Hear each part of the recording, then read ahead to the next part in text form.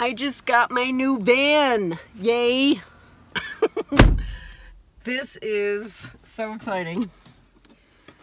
I haven't had a car in four years and I'm going to turn on the air conditioning.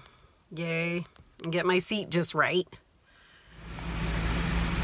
Aircon works good. Here we go. I just took my maiden voyage in my car. All these seats are coming out and it felt good.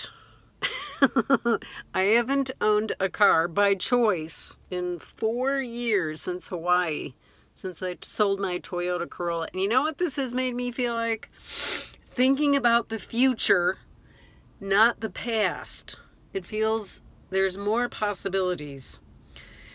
So this has been a good education because when you go forward with something unknown, but it feels right, uh, the owners were so great that I bought it from. One owner after uh, those many years. Anyway, um, I'm thinking about more possibilities. So the thing about possibilities is it's just a practice to not think about the past, but think about the future. So I'll leave you with that. And I'll see you in the next video.